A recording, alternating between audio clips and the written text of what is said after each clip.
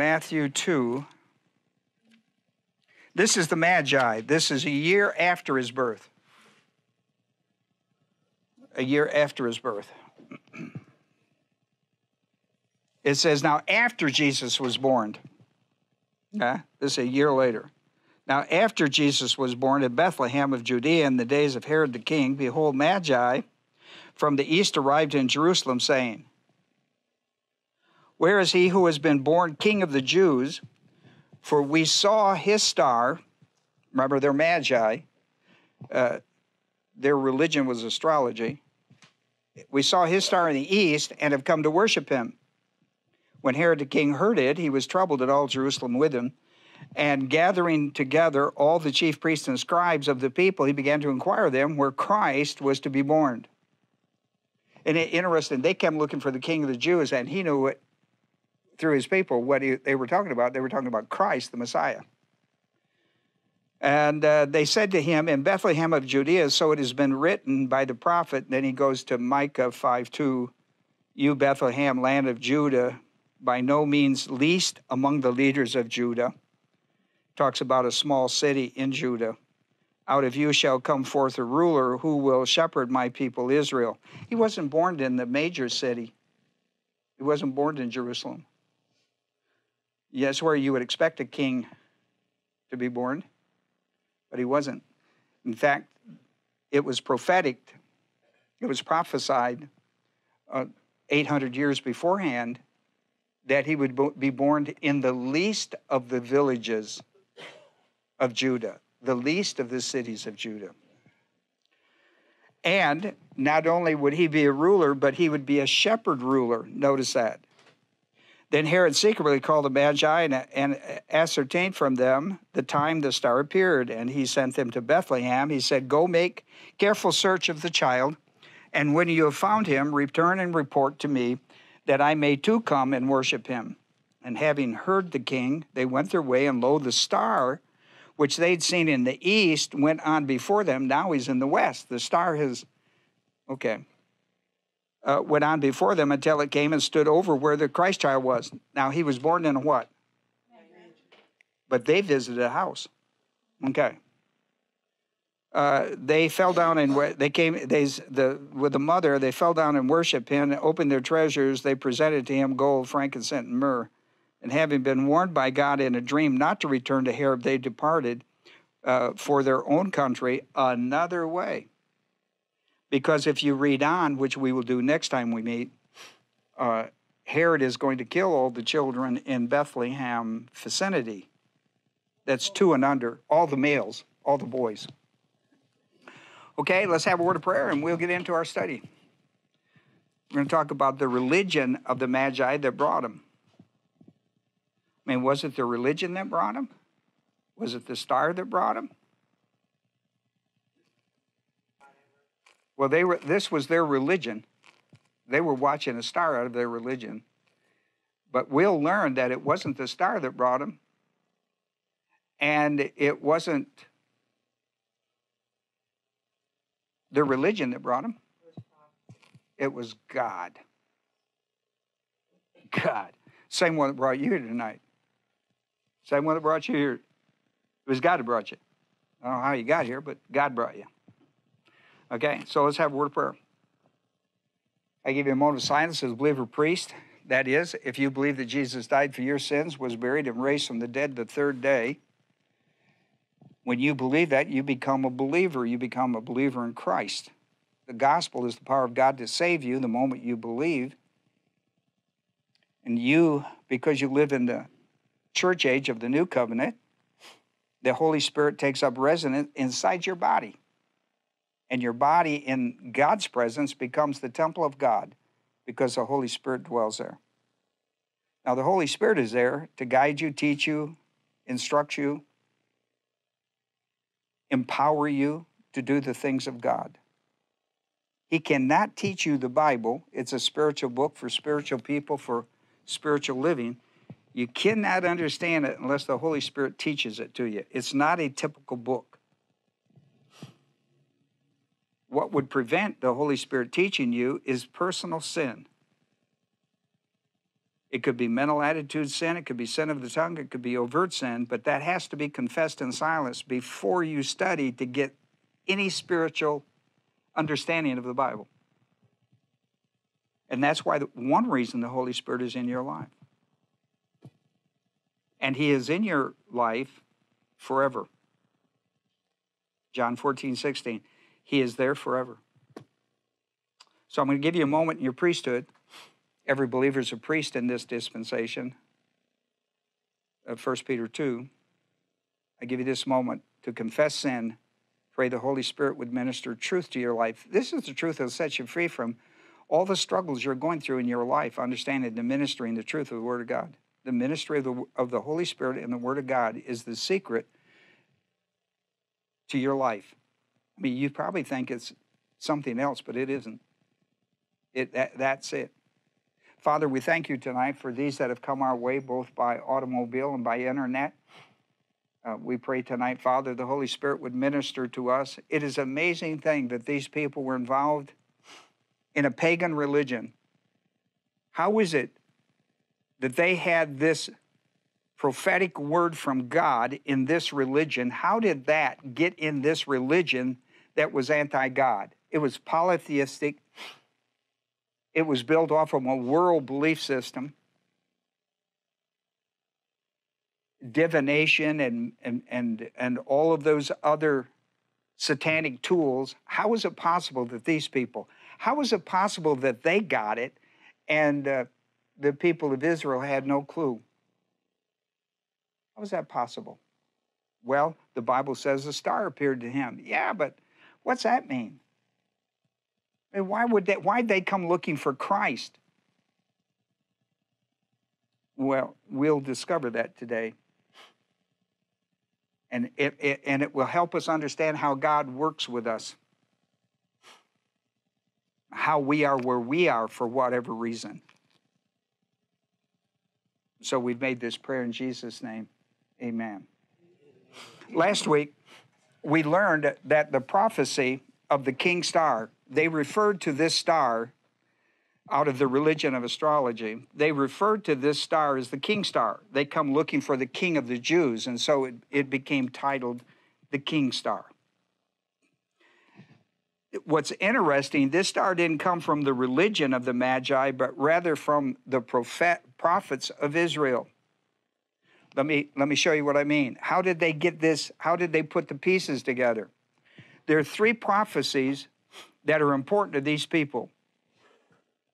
And a missionary had to get that word there. So, who were the missionaries that, that gave them the word that that star meant that would be a king of the Jew and he would be the savior of the world? He would be the king of kings and lords of lords. Okay? So, here we have, mm, here it is on your paper. I gave you three, and these are really important. For example, in Genesis 49:10, we are told it's the sepulchre of Judah. Look for the sepulchre to come from Judah. That's a prophetic word out of Genesis. Now we're back. We're we're you know we're we're the first book in the Bible, aren't we? Then in Numbers, so a, a sepulchre, uh, in other words, a, a ruler, a special ruler would come from Judah. Then we're told in Numbers, the 24th chapter, verse 17, that there would be a, a special star, a star of Jacob. We learn that from a guy called Balaam in Numbers 24, who was part of this religious organization. And, and he gave four oracles and the fourth oracle was really important. The fourth oracle is where he where the, he talks about the star of Jacob. The third one is Daniel, and he was the great missionary. Daniel in the first chapter talks about now I want to show I want you to understand something about how, how Daniel D- Daniel was the missionary to this group of people. But how did he get there? Well, in 586 BC, Israel fell to Babylon under the fifth cycle of divine discipline. And they carried all the young intellects out of Israel to Babylon. and they ran them through a school. And those who were really bright, they put them in their educational system to become part of their um, intellectual operations. They were world power. And so they would take all, uh, depending how they uh, how they did, they were they would be given assignments in engineering or whatever and sent all over the world. In the very first chapter of Daniel, we're told that there were four guys that stood out in, in, the, in the school Shadrach, Meshach, Abednego, and Daniel. These four guys just were lights out. And they tell us that. I mean, it's very clear in Daniel 1. These guys were, these guys, now look, they're Israelites. They've gone to a foreign nation, a foreign language. These guys were so sharp. Now, how did they become that sharp? The Bible tells us because of God. God. You know, intellect is, human IQ is a wonderful thing when you're dealing with the world. Spiritual IQ tops that every time. Spiritual IQ is the stuff you've learned from God. The stuff you learned. What made them intellects, geniuses, was that they had good human IQ, but they had divine IQ. And that divine IQ put them above the class. It will do it every time. It will do it every time. It will do it in whatever school system you're in or whatever college you're in. What trumps your intellect is the genius of God that you've bought into because God's a genius. Right? I mean, he's a genius. And so when you add what you have in intellect in your training, you add the divine viewpoint to it, it puts you lights out. It it and he, and these guys are described, and they, they listen. They haven't been in town that long, four or five years. They've gone through their educational system, and they've just knocked it out of the ballpark. It gets back to the king that these there are four Israelites that are just, I mean, they're just with.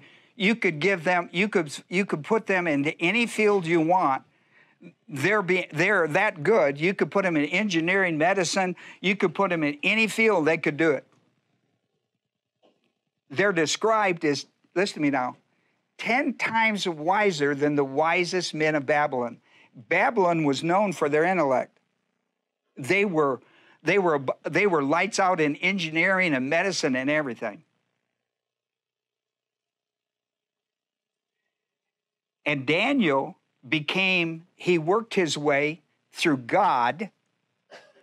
It, the, the, I mean, God presented things to the king that nobody could answer. Nobody could answer them. They would all get together and they would go like, go back to the king. Oh, I can't do it. He said, somebody would say, well, you ought to ask Daniel. So he called Daniel in, and Daniel would go, yes, but I got to tell you something the only way that I can give this to you, it comes from God Almighty. Now, see, the, the, Babylonians were polytheistic. They believed in a lot of gods. They, I mean, they were interested in all of them. That was the good part of this, kind of like, like in Acts 17 when at Athens, where the, you know we had all the idols to all the gods. And Daniel would go in, and the king would say, you know, nobody can answer this. What do you think? And he said, well, let me start by telling you that my answers come from Jehovah God. Make that very clear to you. I don't get this anywhere else. I get it from him. Well, the king would give him it, and, and God would give him the answer. The God would give him the answer. And so in Daniel, the second chapter, time we get to Dan, and Daniel is a wonderful book to read. Now, there's a lot of prophecy in it, but it's just a wonderful, it's just a fun book to read. Don't try to get don't try to become 10 times wiser. Just read the book and enjoy it. It's, it's a phenomenal novel about young guys. And here's my point. They, could, they, they couldn't have been under worse circumstances. A nation invaded them. I mean, really sacked them. They were brutal in warfare. The Babylonians were brutal. And they really, they really put a number on. And so, I mean, they had kin people die in that war and they were drug off as POWs. They didn't get good treatment until they got there and went through school. And that's a pretty tough situation.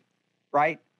And listen, they bounce back. You know how they bounce back so quick? I mean, their parents probably got murdered, their brothers, their sisters, their, their uncles, their aunts, a lot of people. I mean, their school teachers, all of that. I mean, it's pretty tough to overcome, wouldn't you think? This is why this is a great novel. It's a great book.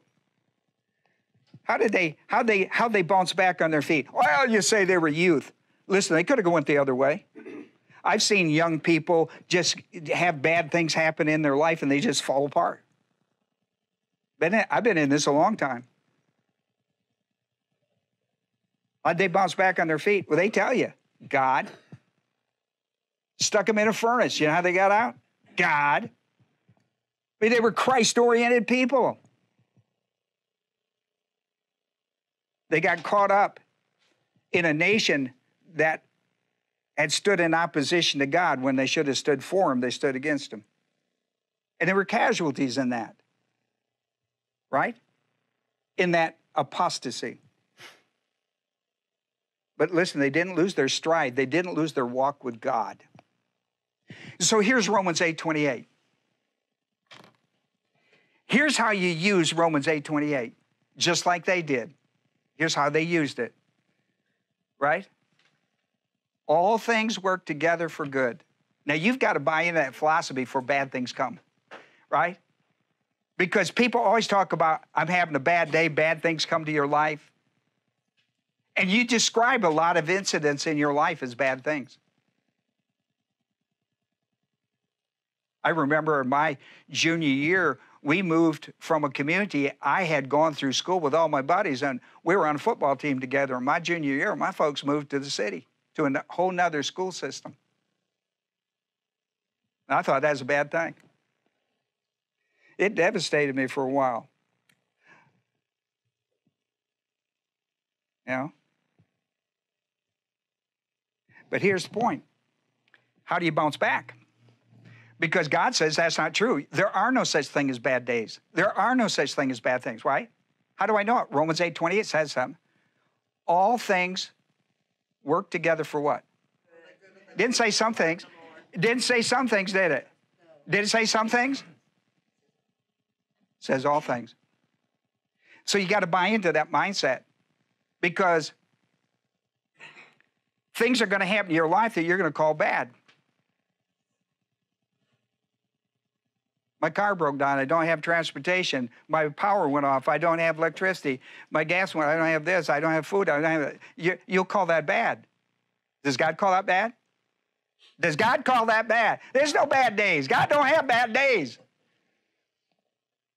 If he don't have no bad days, you don't have no bad days. It's a philosophy you buy into. He says all things work together for good to those who love God to those who are called according to his divine purpose.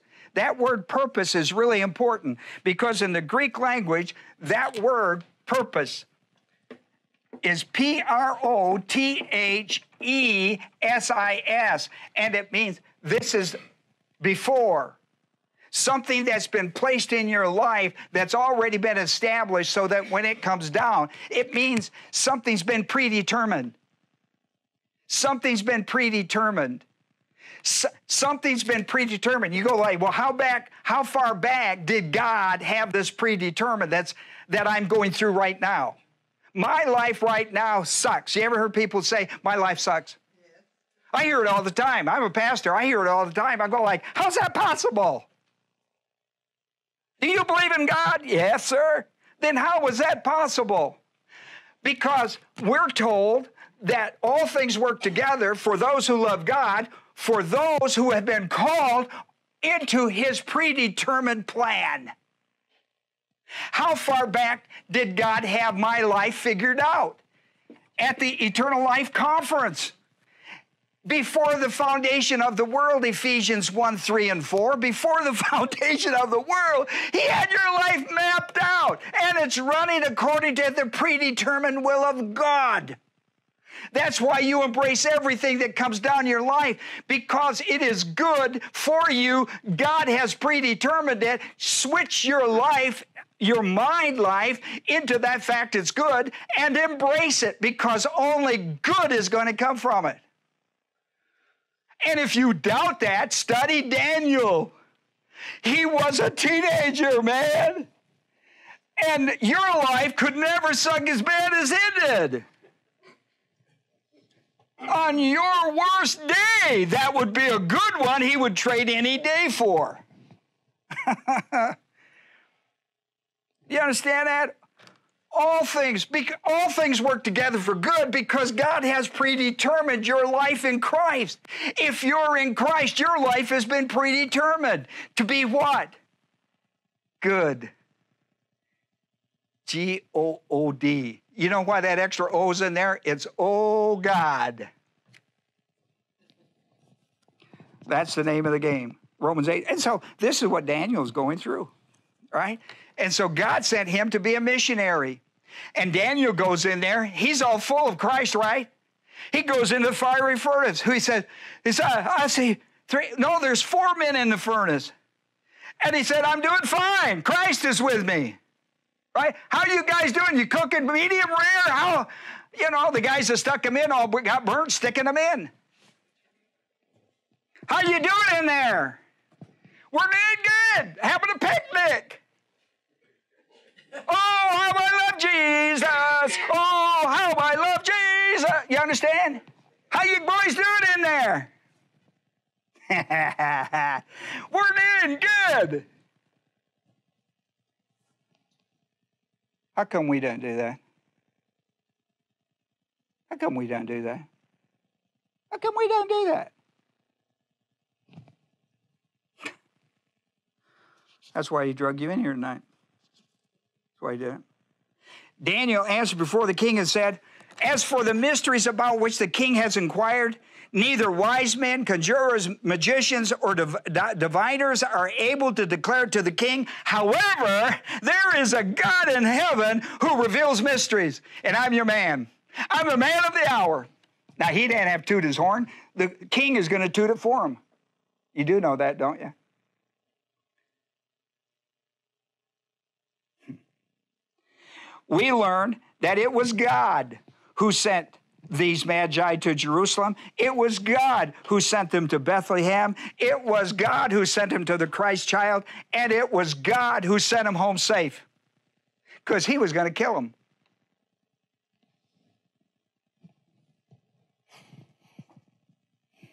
Now, who do you want on your team? Right? You know how you put, choose up sides? You know the first one I choose? God. I did God. Come on over here.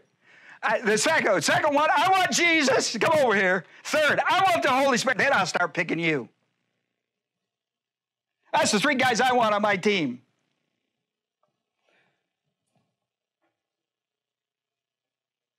How come we don't do that? How come we don't do that? Matthew 2:12 says, the last verse says, and having been warned by God in a dream not to return to, return to Herod, the Magi left for their own country another way. He'd kill them if they went back the same way.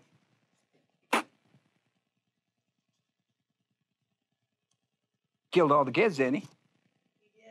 Killed all the kids. All the boys. All the boys. Let me tell you a few things tonight before we go. You know when this, remember this right here? The, the plan of God, the purpose, it comes out in our life. plan of God comes out as purpose in our life. That's why the word purpose, uh, that's the plan of God. It comes out in purpose. You know why you ought to be studying the will of God? You study the word to get the will to, to understand what work God wants you to do. That's how it works. Right there. Right there in Genesis 1, 14 through 19. Look it up. Uh, uh, you got your Bible? Come church with the Bible. Come church with the Bible. Come church with the Bible. Here's Genesis. We're in the fourth day. Here's Genesis, first chapter. First chapter of Genesis. I'm in the fourth day of creation. This star comes from a fourth day of creation. When did God? God predetermined everything that Everything that flows out in this, God predetermines. God pray. And here's a star that shows up that's got Christ's name written on it. The star of Christ. And right here's where it comes from. It comes from the fourth day. I want you to pay attention to it because this is going to be this right here. There's going to be a star that has Christ's name on it. Are you with me? Has his name on it. And those who understand signs will know the meaning of it. Now pay attention. Here I am. I'm in the first chapter. This is where this is where the star is going to come from. It comes from the fourth day. I'm in verse 14. Now watch. This thing is broke down into three parts. This day, fourth day, now pay attention, is broke down into three parts. You're going to see in verse 14, God said. In verse 16, God made. In verse 17, God placed. He didn't do this in all the days like this. This is a unique day. God did three things on this day God said, God made, and God placed. Do you see that? Okay. All right, now watch these three sections. Here, here's the first section God said. God said, Let there be lights in the expanse of the heavens to separate the day from the night. Now, watch this, because I'm into lettuce. Right? I'm into lettuce. Let, let, let there be, and here's another let. Let them be, see, let, let there be lights. Let them be for signs, for seasons, for days, and for years.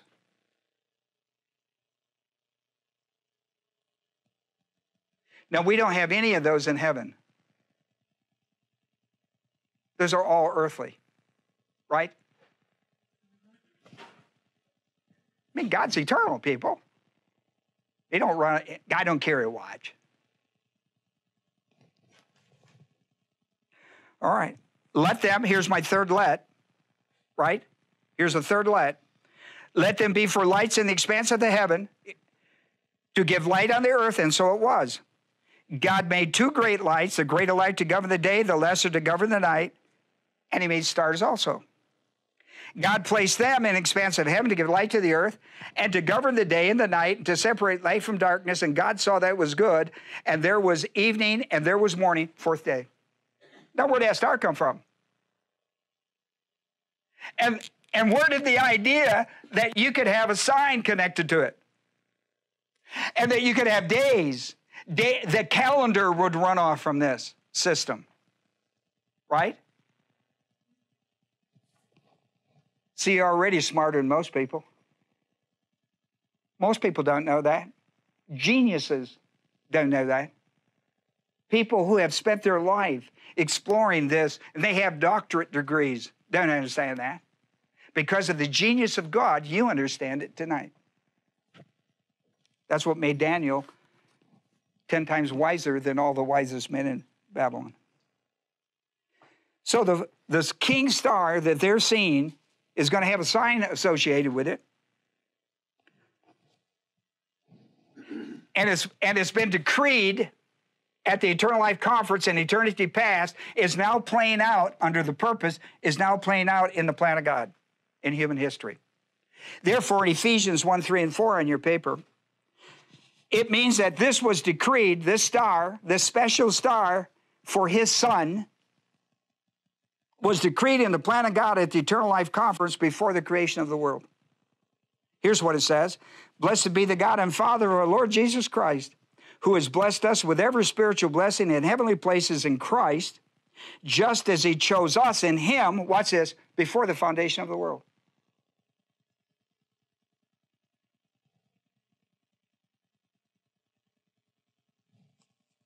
Hua.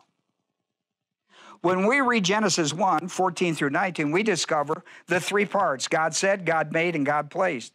The part that we're interested in our story today that Daniel was able to explain to these brilliant people who studied the stars for religious reasons. They used stars to somehow connect with the gods, and they, but they didn't understand how all that worked. Daniel comes along and says, Oh man, I got this. Genesis 1, here's how this works. And what you're seeing is Christ because of Genesis, the third chapter, verse 15, and uh, away, way they went. Took a missionary. Daniel was that missionary. The second thing you need to understand is a divine sign. Divine signs can be interpreted by two ways. A divine sign can be interpreted by two. You can do it by sight, human, or you can do it by faith, divine. You can go the world system or you can go the God system. You're going to go one way or the other because there's not a third. You're either going to go God's way or the devil's way in the way you perceive things. The things that you perceive, the things that you believe, will come from one of these two sources. There's not a third. There's not a third. And they're diabolically opposed. Sight is perception. What's connected with sight is eyes and ears. Eyes and ears. We talked about this last time. Uh, eyes and ears. Eye has not seen, ear has not heard, nor entered into the heart of men the things that God has prepared them from eternity. 1 Corinthians 2 9 and 10. If you could just grasp that for a moment, it would, it would, it would change your life where you are and would put you on a journey on this earth that would be the most fantastic journey you ever walked in your life. The most fantastic journey you ever walked. Sight is a perception either by the eye or the ear. And I wrote that down. It's a quote from Isaiah 64 4, if you're interested. It is interesting that two people can see or hear the same thing and draw different conclusions. Now, we all know that. When it comes to the spiritual realm, you, sight is cosmos, it's worldly thinking, cosmos diabolical, by meaning the devil runs that system. And the other view is faith, which comes from the divine system. Where does faith come from? Romans 10 17. Faith comes from hearing, hearing the word of God.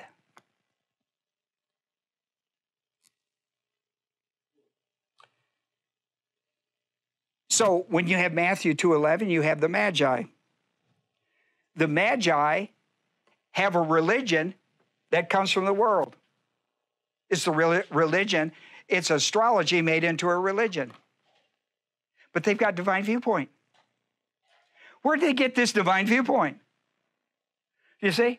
They got it from Daniel, who taught them, open the scriptures up like I'm doing to you tonight, open the scriptures up and cause them to become alive right? I mean, the, the Bible's a dead book until the Holy Spirit gets it and starts bringing cha-chings into your life. You know a cha-ching? Moment. Here's Herod. Herod lives in Israel. Herod has got these wonderful uh, people around him. He can ask them a biblical question. Boom, they can get the answer. And he's operating by cosmos diabolicus. You got magi who come out of that system, who have gotten divine light, and they're there hunting for Christ. He belongs to this divine system, and he's dumber than a brick. He's not got a clue. He goes to church every every Sunday, just as faithful, and he's as dumb as a brick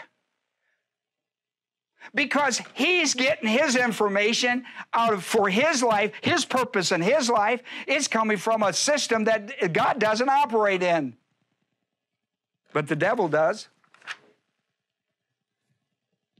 Faith comes by hearing and hearing the word of God.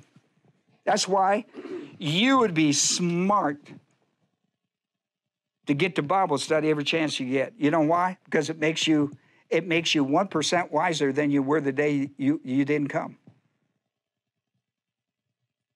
And if you spend, put your head in it long enough, you become smarter than anybody in your school. Though they go to church, they don't learn nothing because they had, don't have an interest in learning it. It goes one ear and out the other because they don't stop it. right? You have the ability to stop it. If you stop it, though, you'd have to stop and think about it, which would be a good thing. Faith is cycling the Word of God into your heart. Eye has not seen, ear has not heard the things that God has prepared for the heart. See, God wants you to think with your heart, not just your mind. Your heart is that, is that superpower of intelligence that you can have to make you 10 times smarter than anybody else in the world. You'll never be 10 times smarter than God, but you'll be smarter than 10 times people that don't pay any attention to the Word of God. 1 Corinthians 2 7, we speak God's wisdom in a ministry, in a mystery, a hidden wisdom, a hidden wisdom which God predestined before the ages to our glory. Predetermined. For it is God who revealed these things to us through his Holy Spirit. For the Holy Spirit searches all things, watch this, even the depths of God. I mean, how much do you honestly know about God? I mean, how much do you really know? Oh, you go like, oh, I know the essence box. I can tell you. Oh, yeah? Well, then, okay. Then give me how omnipotent power worked in your life this week. Oh, I understand omniscience. I understand them. Okay, show me how the all intelligence of God worked in your life this week. Because, see, I'm not talking about knowing all this stuff on a piece of paper that has no reality in your life. God is real, He's a living, powerful being, and He's there to be dynamic in your life. When you say that God is omnipresent, do you really believe that? Why do you lie in secret? God can't hear you? What, what kind of a secret do you have that God don't know? And if you do know that he knows all things, that he is all, all wise, then why aren't you paying attention to him? He is what makes you wise. He is he has omniscience. He's willing to share it with you. You are able through the word of God to study God, bring God into the reality of your life, and now you get to study the depths of who God is. I mean, how much do you really know about God? I'll tell you what you need to know is that in practicality. What he wants to do is he wants to bring this identity of God into purpose of your life, right? That's the word purpose. That's what happens when you go to college. And you don't become 10 times wiser.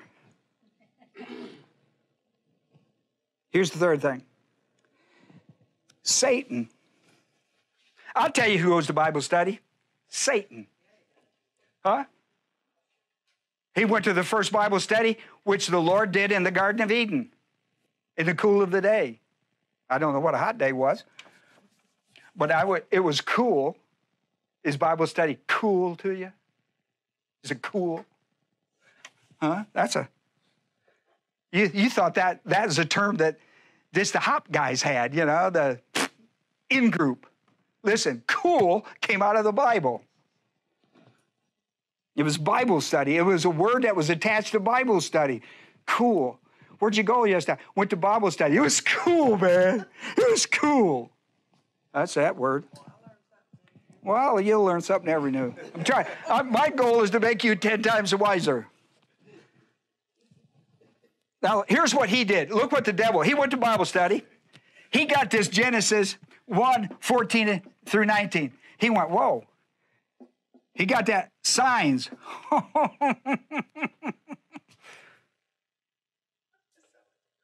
Here's what I'm going to do. And so, what he did is he took creation, he took the fourth day, which deals with the heavens, right? The stars, the moon, right? He listened to God name all the stars. That's like naming this grant, this, you know, you go to the ocean, you know, you go to Florida, you go to the beach, you get a handful of dirt or a, a bucket of dirt, sand, you know, sand. And so you, you, you, so they give you the, they give you this job. Mother says, look, I'll, I'll give you a dollar for every piece of sand, but you got to go all through the bucket. You got to count every one of them and name them and I'll give you a dollar for each one. If you can get it done before we leave, uh, leave the our vacation. How long are we here, Ma? Two days. What are the odds? Huh? You commit suicide before you can get halfway down through that thing. That's what I'm talking about. When he talks about the stars of heaven, he talks about the grains of sand. Puts them in the same breath of discussion. Named every star. I mean, about the third one, I'd have been called Star One, Star Two. After I ran out of Billy Joe and Bubba, my vocabulary would be done. Can you imagine that? So he takes this idea, he takes this idea, and he develops a religion out of it of astronomy, astrology. He develops a whole religion out of it. And listen, and then he sends missionaries with it. It's spread across the entire world. When, when Joseph went into Egypt, that's what Egypt was into. When Moses, uh, when Moses went into Egypt, that's what they were into. When he came out of Egypt, went into the land of Canaan, that's what they were in. When Daniel went to Babylonia, that's what they were in. That's what everybody's in that's not in Christ. They're into some kind of religious gobbledygook. because the devil runs that system in opposition to God. So in 2 Corinthians 2.11, Paul understanding that, Paul said, listen, you need to study the Bible so that you're not ignorant of the scheming of the devil because that's the other belief system that's working in your life.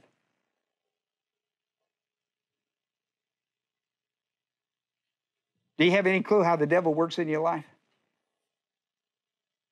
I don't, I'm not talking about how your flesh works. Because we can figure that out just by being with you a while. But let me tell you, the scheming of the devil is a whole different ballgame. You're talking about how, you're talking about military intelligence on a level that you're not capable of. You know that from Ephesians the sixth chapter, put on the full armor of God, right? I hope so. Ephesians 6 11. And when he talks about Adam and Eve, he said, You know what got him? Deceit. Deceit. How could they be deceived? They were, they were perfect. Devil got him. How could he get him? They stopped believing the truth. You know how he gets you? There are only two systems. Your, your beliefs are coming either from God and the Word, or they're coming out of the world. Ain't no third. Two bases. That's not hard, is it? Don't have to run four. Home run is if you can just get to one base and back. That's not bad. Is that? I think I could run that done. Don't have to steal. Don't have to do anything. Satan took the truth of the fourth day of creation, developed it into an ancient religion that's still around. Then he spread it throughout the world. Do you know that in Second Thessalonians 2 8 and 9, the Antichrist is going to work that system? In Acts, the second chapter, 19 through 21, uh, the, the writer talks about at the second advent that whole that whole world system is going to come into play again with signs the, the sun the the uh, the sun is going to turn into darkness and the moon into blood that'd be interesting and stars will start falling and it won't be from a rock concert they'll be falling if you want to see how the Pharisees use it, you read Matthew, the 16th chapter, 1 through 4. The Pharisees and Sadducees came up, and they tested Jesus, said, Show us a sign from heaven. And he, then he says, You do not, listen, do you know how to discern the appearance of the sky? Yeah, yeah. You say, Well, it's going to rain tomorrow. Oh, it's going to be a good day tomorrow. My grandfather could do that as a farmer. I thought he was the smartest man in the world. I didn't know he had a farmer's almanac.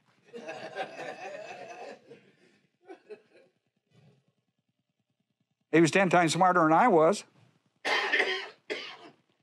He says, you, can, you, can, you, can, you can tell how a day is going to go by the appearance of the sky and can't discern the signs of the time. Just think about that. You have the ability to discern the times that you live in. Very few people have that privilege. Do you know that? That's how bright, that's how bright you can be with God. He said, And even the adulterous generation seeks after a sign, and a sign will not be given except the sign of Jonah. Three days and three nights, not in the air, three days and three nights in the heart of the earth. Well, in closing, that's usually when I get amens.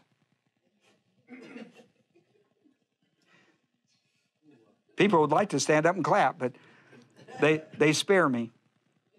Moses warned the Israelites. Moses warned the Israelites of this ancient religion that was already rooted in the land of Canaan. He does it in Deuteronomy, well worth your time. Deuteronomy, the 18th chapter, 9 through 22, he did this in the 5th century BC. In this warning about this pagan religion, the religion of the Magi come home with. This religion, in the 18th chapter, verse 15, he gave a prophetic message of Christ. Listen to what it says. The, here's, here's his prophetic message of Christ in the midst of this. He says, The Lord your God will raise up for you a prophet like me from among you, from your countrymen, and you shall listen to him. I wrote this down in John 1 15 through 19, or uh, John 1 19 through 25, 6 chapter 14, 7 chapter verse 40. When John the Baptist came on the scene, and then when Jesus came on the scene in ministry, the people of Israel said, they said to John, Are you that prophet? He said, No. They said to Jesus, Are you that prophet? And he said, You will see. Because you're going to have to see what goes with that prophet. Because whatever he says, you're going to have to what? You're going to have to hear and believe. See, there was a tag on this thing. This thing said, The Lord your God will raise up for you a prophet like me from among your countrymen, and you, you must listen to him. The proof, are, are, when they said, John said, I'm definitely not, there's one coming after me, he will be. So when Jesus came and John says, Well, he's the guy, they all went, huh, Are you the guy? He said, I don't know. We'll see. The proof will be in the pudding. You ever heard the proof will be in the pudding? Here's some banana pudding. You taste it and you go, That's chocolate. You can't, you can't fool a chocolate guy. No, no, that's not banana pudding. I know banana, banana pudding. Eh? See, see, what you're missing is where that prophecy came from. What you're missing is where that prophecy came from. The message from God associated with the King Star and the Magi was that Jesus is the Christ, the Savior of the world, the King of Kings, the Lord of Lords. And you ought to take that serious. You should take that serious. Okay? Well, that'll do it for today.